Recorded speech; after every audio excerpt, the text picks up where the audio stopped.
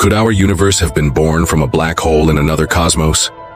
Recent observations from the James Webb Space Telescope, JWST, reveal that a majority of ancient galaxies exhibit a surprising rotational bias, challenging the expectation of random spin orientations. This unexpected pattern lends credence to the black hole cosmology theory, suggesting our universe might reside within the event horizon of a massive black hole in a parent universe.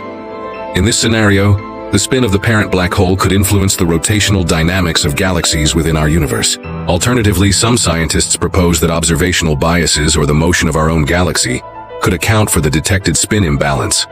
If true, this anomaly might necessitate recalibrations in how we measure cosmic distances and understand the universe's expansion.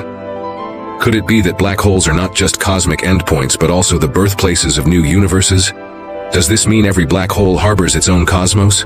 We'd love to hear your thoughts on this mind-bending possibility. Drop your insights in the comments below.